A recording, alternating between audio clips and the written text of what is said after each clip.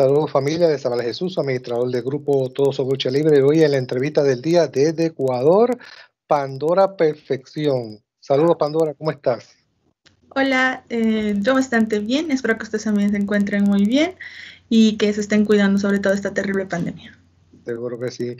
Mi gente, antes que todo, Pandora me dijo antes de comenzar la entrevista que estaba nerviosa porque desde un año esta es la otra entrevista, como quien dice, y ella se siente como si fuera la primera vez que hace una entrevista porque hace tiempo.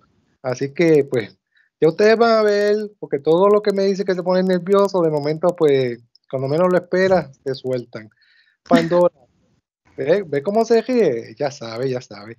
Eh, Pandora, ¿cuál fue tu motivación para ser luchadora? ¿Qué o quién te inspiró? ¿Y por qué quisiste ser luchadora?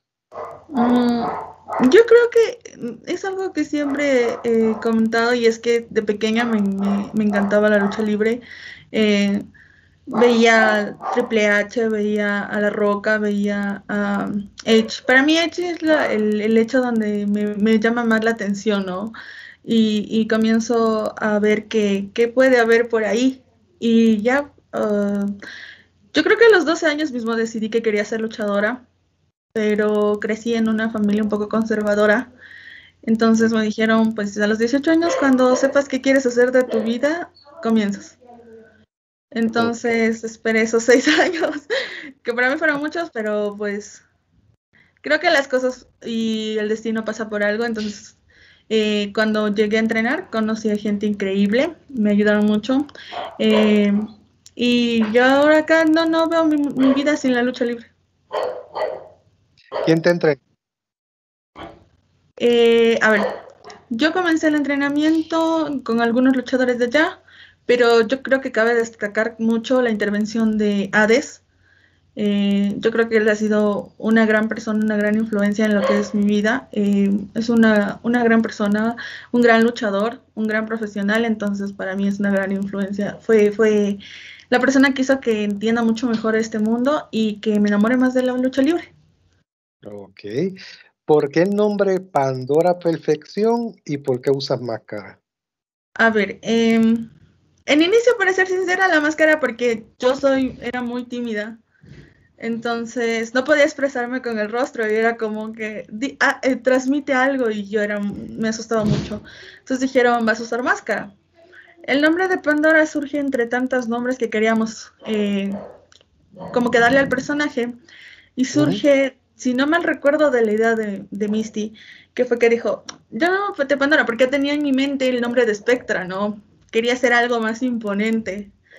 Y, y Misty dijo, no, pues vamos por esto. Y cuando me puse a investigar mucho de la mitología griega, de hecho los colores que uso para las máscaras y para los trajes representan algo. Em, Pandora en sí representa esperanza, pero también puede representar eh, un, un, lado negativo de las, de la personalidad.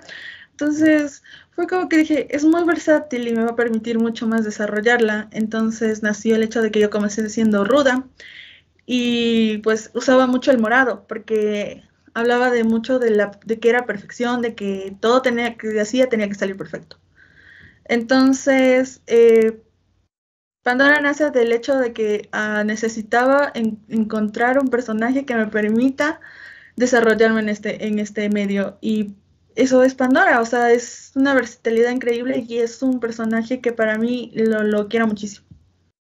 Fíjate, de las pocas veces que he visto máscara, la tuya es curiosa porque en la parte de los ojos es bien amplia y aquí como que es como curviada.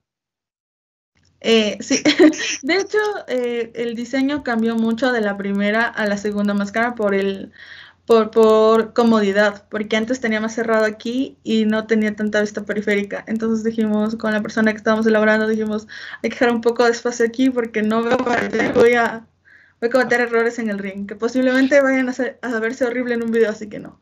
Ah, ok, ok. ¿Y nunca pensaste ponerle como unas mallitas negras? No, preferiste dejarla así.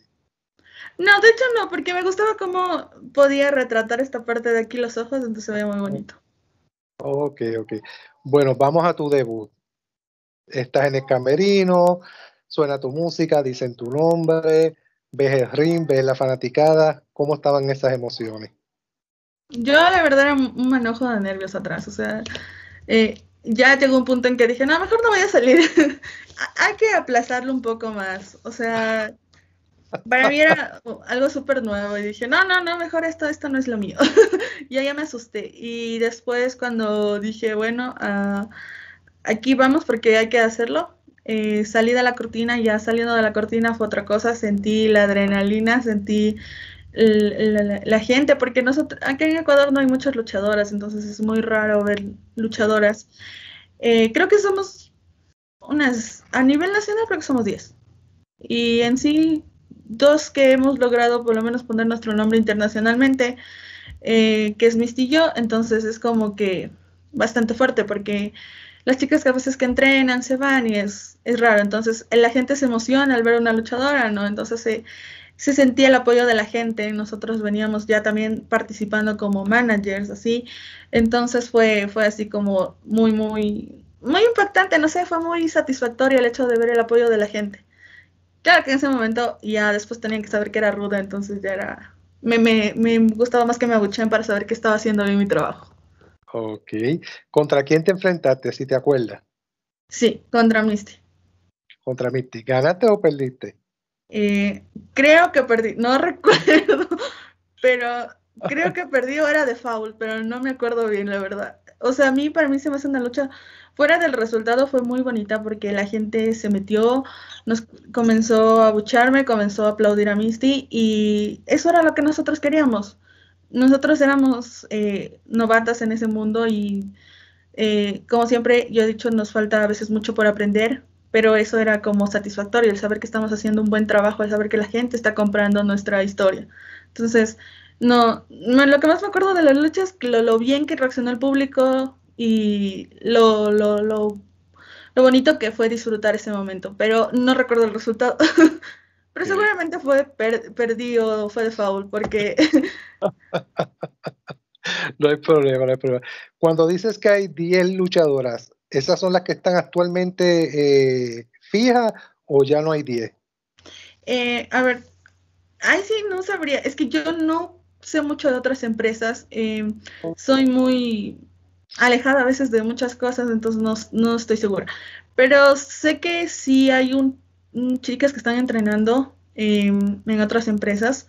No son muchas porque igual que en, algunos lugares está prohibido incluso que las chicas entrenen. Em, entonces, no sabría decirte el número exacto. Yo aproximo con unas 10, pero no estoy segura. Pero igual, o sea, ya es algo que siempre hemos dicho, que queda la invitación abierta para que nos escriban y ver si podemos formar algo más bonito, algo más interesante femenino aquí. ¿Y eres ruda? Yo actualmente no sé.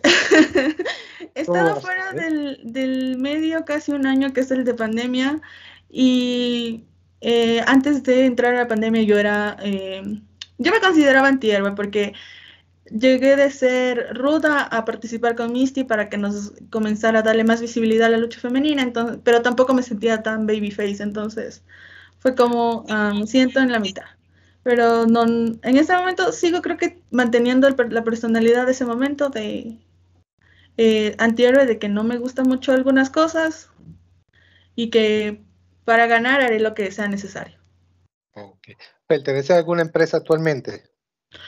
Ah, yo creo que, cualquiera en la que den la oportunidad de luchar. no, no soy muy selectiva en ese aspecto. O sea, soy muy. Donde me den la oportunidad lo voy a hacer y voy a demostrar que, vale la pena darme la oportunidad. Ok, te voy a hacer una pregunta. Si tú deseas la contestas, si no, no la contestes. ¿Por qué tú crees que hay eh, poca participación de mujeres en la lucha libre en Ecuador? ¿Será porque tal vez necesitan un estímulo como un campeonato? ¿O será que, como tú bien dices, hay lugares que no pueden entrenar? Que no entiendo por qué no pueden entrenar, pero pues, si eso es una ley que hay en Ecuador, o sea, ¿por qué tú crees que hay tan poca participación femenina? Chuta, es complicado, o sea, creo que vienen por muchos factores, o sea, uno por el hecho social, porque acá en el Ecuador, aunque no crean si existe un poco de machismo, incluso donde entrenes, eh, eh, una es, es, el pensamiento machista, porque yo tengo que enfrentarme a esas cosas cuando estoy ya fuera del ring, fuera de mi personaje, hablando con, mi, con mis compañeros, por ejemplo, de mi universidad, diciéndoles, ¿sabes que soy luchadora? No, no todos lo toman como, ah, qué divertido, ¿no? Hay muchos que sí. Eh, entonces, una puede ser un factor social y otra eh, puede ser problemas de, este, de empresas. No tengo mucho conocimiento en eso. Donde yo entrenaba, eh, solo entrenaba Misty y yo. Brenda tuvo que retirarse por un problema de salud y las anteriores chicas yo no las llegué a conocer, entonces tampoco conozco muy a fondo algunas cosas. Wow. Y actualmente, cuando vuelvas a luchar, ¿contra quién te gustaría luchar? Mm, no sé, me gustaría enfrentarme. De hecho, he estado pensando mucho en abrirme internacionalmente, me gustaría más probar afuera. Eh, ya tuve la oportunidad de viajar a Chile, pero ahora me gustaría probar otros destinos, ver qué, qué más hay allá afuera. Eh, entonces, no, no tendría un nombre fijo, pero sí eh, me gustaría enfrentarme a, personas extranjeras. ¿Te sentirías preparada para, ir a los Estados Unidos? Ah, no. Siento que no. Con este año de para creo que me va a tocar eh, por lo menos un año más de entrenamiento para ponerme al día. Em, entonces, estoy tratando de organizar porque eh, mi vida también no, no, no puedo decir tomar decisiones solo a base de la lucha libre. Entonces, em, posiblemente sí, me gustaría mucho ir a luchar en Estados Unidos, sí. Eh, no me siento al nivel, menos con este año de para. Entonces, seguramente eh, lo primero que haría es tal vez entrenar un año y intentarlo. Pero no me sentiría lista porque siento que son gente que tienen más experiencia que yo. Pero me gustaría la experiencia porque siempre hay algo que aprender de la gente y más que todo en este medio nunca dejas de aprender. Ok. ¿Tienes pareja? actualmente no. ¿Tienes hijos? No. Ok. ¿Y cuánto tiempo eh, llevas como luchadora? Ah, creo que. A ver, sin el año de para son cuatro años. Con el año de para son cinco. Fíjate, sería interesante si tuvieras la oportunidad de irte a México, porque allí hay muchas luchadoras femeninas que muy bien puedes aprender muchísimas cosas. Claro, México siempre ha sido una, un objetivo, ¿no? México es como donde todos queremos llegar a entrenar en algún momento. Pero pues también está el hecho de que yo tengo que tomar decisiones porque ahorita en este año, eh, una, lo económico, ¿no? Nos pegó la pandemia a todos. Y dos, yo pues estoy terminando mi carrera, entonces eh, hay momentos en que eso también me frena a tomar algunas decisiones, como decir, mañana me voy a tal lado. Digo, sí, sí quiero ir a luchar, pero necesito dejar todo, todo perfectamente estructurado para poder seguir con otros proyectos. ¿Te falta mucho para terminar los estudios? Eh, no, ya el siguiente año espero titular. Ahora bien, eh, aunque estés estudiando, este, ¿eso te imposibilita luchar allá en Ecuador o puedes hacer las dos cosas? Mm, la mayoría del tiempo no se me ha imposibilitado, de hecho eh, siempre he luchado y estudiado, he entrenado y estudiado. Ha sido una constante en mi vida, ¿no? Entonces, desde que entré a la universidad hasta ahora, eh, entonces, no, no, no me imposibilita. Actualmente sí, porque los horarios virtuales son más complejos y como también había mencionado, no, no, no, me, no pienso arriesgar a mi familia porque es, es raro decirlo, pero pues ellos no, no, no sé, si los contagiaría no podría vivir con el hecho de que los contagie y tal vez se mueran y eso es un cargo en el conciencia que no podría vivir. Eh, ¿No están vacunadas o sí? Eh, están vacunando, pero por ejemplo ahorita el calendario está en 60 y 65 años.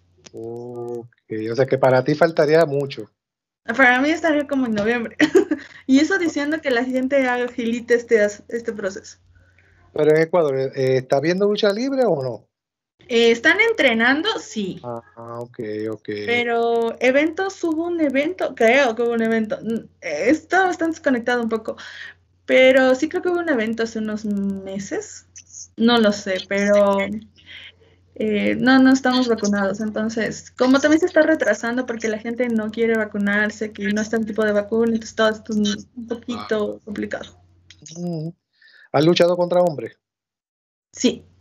Ok consejo que te voy a dar de todo corazón, ten mucho cuidado. Porque si, no, no, porque si hay, hay machismo, como tú dices, no vaya a ser que alguno se quiera pasar de gracioso y te quiera hacer daño por el mero hecho de después decir, viste que las mujeres no son para la lucha libre. Ah, bueno, en el, en el momento de que me tuve que enfrentar con estos con luchadores del país, no fue tanto, o sea, fueron muy profesionales de su parte, eh, fue muy profesional de nuestra parte, como porque éramos pareja con Misty, entonces, por ese momento, por eso no me puedo quejar. Hay otras cosas que tal vez sí, pero por eso no. No, porque uno nunca sabe, ¿verdad? Porque por lo menos estos fueron profesionales, pero no vaya a ser que te toque, ¿verdad? Uno de estas personas que diga, ah, esta se cree que, que es luchadora, pues yo le voy a enseñar lo que es lucha libre y pues te vaya a causar un daño que después sea, sea penoso para ti y para tu familia. Sí, no, muchas gracias por el consejo. No, pero... no, no debe ser así, mi, mi, gente, los que estén viendo esta entrevista, mira, el machismo, vamos a dejarlo a un lado. En México, el país más machista del mundo, y miren la cantidad de luchadoras que hay, o sea, ¿qué pasa? O sea, vamos a entendernos, necesitamos también luchadoras femeninas. ¿Quién sabe si ese es el mismo miedo que tienen las mujeres en Ecuador, que no quieren ser luchadoras por, por, porque después se elegía de, ah, mira tú que si luchadora, ah, mira, o sea, vamos, vamos a entendernos, también las mujeres tienen derecho a luchar y, y, muchas veces luchan hasta mejores que los hombres y pegan más fuerte que los mismos hombres. ¿Verdad que sí? Sí, yo he visto muchas luchadoras que pueden tranquilamente hacer una, una, una presentación increíble dejando atrás a algunas cosas. Bueno, por lo menos esperamos, ¿verdad? Que logres, logres terminar tu, tus estudios. Eh, por ahí está México, está Japón, que también es un buen lugar para que puedas aprender. Está Estados Unidos, como tú bien dices, puedes regresar a Chile, eh, Panamá, hay un montón de lugares, Puerto Rico, acá en Puerto Rico, hay muchos lugares que tú puedes, mira, irte desarrollando poco a poco. Claro, Japón, las chicas de Japón son increíblemente buenas, o sea, que ver su, su nivel y su forma de pegar es... quién sabe cómo tú y Misty son amigas, se van por ir para abajo, para otro país a luchar las dos y todo eso, y adquieren, adquieren más conocimiento, viajan a México, viajan a Estados Unidos, Japón. Decir Pandora está en México y Misty está en México. Eso, sería, una, eso sería una alegría para ti y para Misty. Claro, es un, sería un, un paso gigante. No, imagínate tú, ¿cómo te puede conseguir la fanática de las redes sociales? Eh, ahí sí no sé. Pero estás en las redes sociales, ¿verdad? Estás en, en Facebook, Instagram, bajo Pandora Perfección. Sí, eh, tengo mi página de Facebook, eh, Instagram, perdón. Pero estos, este año de pandemia sí me mantengo alejada porque tampoco tengo mucho que mostrarles, ¿no? Es como ¿Qué les voy a mostrar? Las clases virtuales y el ejercicio que hago, entonces es un poco como de... No, no. Cuando ya salga el de nuevo, tal vez tenga mucho más contenido, pero por el momento sí estoy un poco alejada. Eso fue lo que ella me dijo antes de comenzar la entrevista, que pues ha estado alejada de las redes sociales, porque por eso mismo, o sea, no hay lucha libre, ella está estudiando, ella pues quisiera poner más, más videos, más fotos, Así que vamos a esperar. Escríbanle Pandora Perfección Instagram este, para más entrevistas, para que no diga de después de un año no me han hecho nada más que una sola entrevista. Si usted quiere llevarla a su país, escríbala también, hablan de negocio. Claro, hay que esperar a que termine ese añito, que ella estudie, que esté tranquila y entonces pues luego de ese año pues ustedes se comunican y pues la llaman para que ella pueda ir con su bandera y ser una gran luchadora y demostrarle el poderío que ella tiene. Una palabras que tengas para tu fanaticada? Eh, yo creo que agradecerles porque siempre están allí. Eh, creo que yo los he descuidado mucho porque no es como que les diga, ah, hoy día les voy a dejar un Pero no, agradecerles por el soporte, por, por, por el apoyo, por estar aquí y porque gracias a ellos estamos aquí. O sea, sin ellos no habría nada más. Te, te, perdona que te pregunte, ¿te sientes presionada por ese último año que te queda? Porque estás pensando que si Dios mío, la lucha libre, mis estudios, mi familia, ¿te sientes como que un poquito como que fuera de, de foco, como decimos nosotros? Sí, me ha costado mucho. Eh. Es una conversación que he tenido con mi mamá que se volvió una apoyo en los últimos cuatro años. Eh, que le dije, no, no sé, o sea, me siento que me estoy perdiendo de la lucha libre por estar terminando algunas cosas. Y ella me dijo, pues tienes pues que poner, eh, a la final, ¿con qué vas a pagar tus viajes y cómo vas a solventar muchas cosas que necesitas?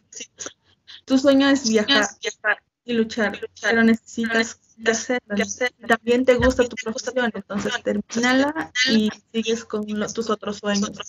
Y, a mí, o sea, es duro porque si la vida de adulto ya no es fácil, entonces dices, sí, hay que tomarse un respiro y ver qué se puede hacer ¿Te sientes triste o deprimida? Eh, no, estoy muy contenta porque ya por fin puedo decir, ya no voy a tener que preocuparme por la universidad y voy a y me, va a impedir ir a cierto lugar o hacer ciertas cosas. Eh, pero sí me siento como nostálgica porque no he pisado en un año. Eh, para mí no estar ahí es un poco complicado porque digo, me gusta, me, me pone feliz estar ahí y, ahora tengo que alzarme un momento. No, yo, te entiendo porque se te oye la voz entrecortada, pero no es por la, no es por la conexión, es porque pues te da sentimiento, o sea, la lucha libre, quiere, quiere, quiere, como te digo, quiere completarlo todo, tus estudios, tu familia, lucha libre, y estás como que con esa pelea interna, como que qué hago. Recuérdate que estás en tu último año, muchas veces esos exámenes son bien difíciles, tienes que estar ahí, mira, tratar de pasar, porque sí, qué bonito es que vayas a luchar, pero por culpa de que fuiste un día a la lucha, no estudiaste y vienes y pues no pasaste el examen. También hay muchas cosas que tienes que, tratar de, de, ponerte, ¿verdad? De que, ok, estudio, entonces cuando pueda, pues entonces voy y lucho, para entonces, pues mira, no tener ese, ese, ese conflicto interno. La verdad sí, pero es, es como un tema delicado en este momento. De hecho, es también el hecho de un año de entero. No, no empezó de un riso. Es como. Sí, sí, le, sí pues, el día que lo vea, capaz que me pongo a llorar de la emoción. Pero, ¿ha salido a la calle o, o tampoco? No, sí, eh, tengo que salir porque yo tengo chequeos dentales, ah, y también porque tuve que hacer unos papeles de la universidad. Pero trato de salir cuando es muy esencial, cuando tengo que hacer unas compras, andar haciendo unos mandados a alguien de mi casa. Okay.